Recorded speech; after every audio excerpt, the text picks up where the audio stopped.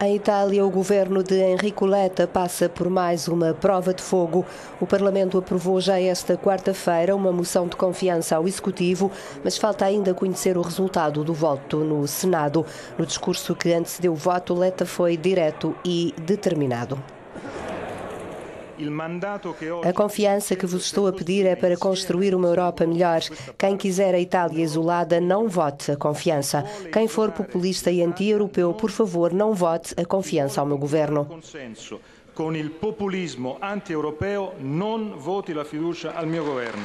O Senado deverá votar ainda esta noite. Durante a tarde, centenas de pessoas manifestaram-se junto ao Parlamento e nas ruas de Roma. O slogan mais ouvido foi Gatunos.